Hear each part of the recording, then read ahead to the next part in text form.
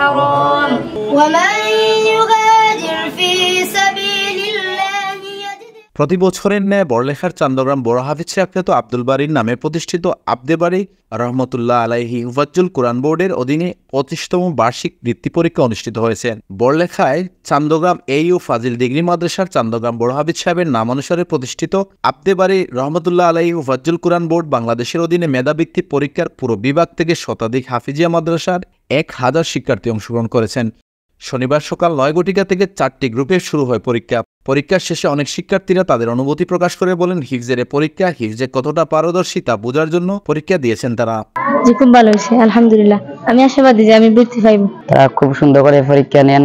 আমি তিস পাড়ায় তকমিলে পরীক্ষা দিয়েছি। আমার খুব ভালো লেগেছে পরীক্ষাটি।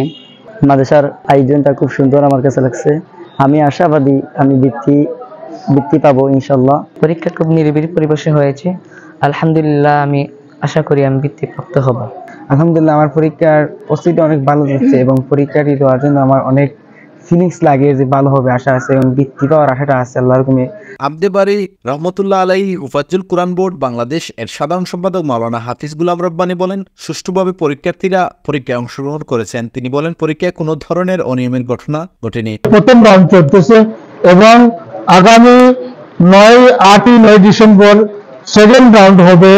সেকেন্ড আজকে যারা পরীক্ষা দিতেছেন, যারা এ প্লাস পাবেন, তাদেরকে নিয়ে আমরা সেকেন্ড রাউন্ড করব। সেকেন্ড রাউন্ড আবার যারা অংশগ্রহণ করবে, যারা ফার্স্ট পুরস্কার পাবেন তাকমিল জামাতে প্রথম পুরস্কার হবে পঞ্চাশ হাজার টাকা নগদ। বিশ পাড়াতে প্রথম পুরস্কার হবে নগদ তিরিশ হাজার টাকা। দশ পাড়াতে প্রথম পুরস্কার হবে বিশ হাজার টাকা। এখনও দ্বিতীয়, তৃতীয় আমরা এখনও ঘোষণা করিনি। আজকের পরীক্ষার পরে রেজাল্ট শেষে আমরা সেই রেজাল্ট বসার পরে আমরা দ্বিতীয় এবং তৃতীয় ঘোষণা করব। যারা বিবাস দেশে দিয়ে দেখতেছেন, যদি আপনার সামর্থ্য আলোকে যদি সম্ভব হয়, আল্লাহর অলির মাদ্রাসা খেদমতের সুযোগ থাকে আমি আহ্বান জানাচ্ছি, আপনি সুযোগ হইতে পারবেন এবং আমার দান করাত আমরা সোনারাকে আমরা স্মরণ করব এবং আপনাদের দোয়া করব।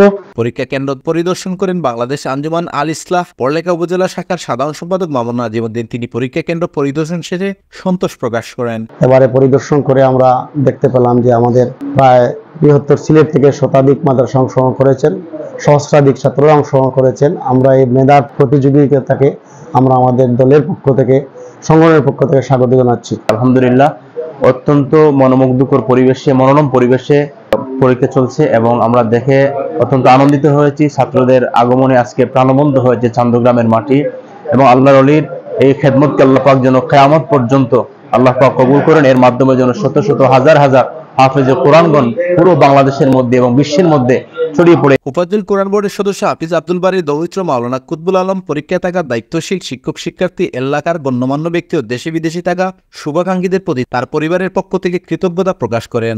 এই যে বৃত্তি পরীক্ষা ধারাবাহিকভাবে পঁচিশ প্রায় চব্বিশ বছর থেকে এবার নিয়ে প্রায় পঁচিশ বছর আলহামদুলিল্লাহ অত্যন্ত সুচারুভাবে হচ্ছে।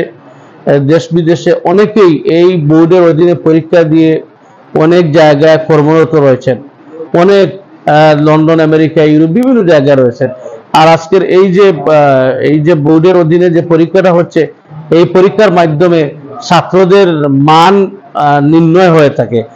একটি ছাত্র ত্রিশ পারা সে মেমোরাইজ যে করেছে, সেই মেমোরাইজ তার কতটুকু আছে এবং কতটুকু সে আয়ত্ত করতে পেরেছে ভালোভাবে, সে তার সিনার মধ্যে কোরআন রেখেছে সেটা কিন্তু নির্ণয় হয়ে থাকে এই ধরনের পরীক্ষার মাধ্যমে।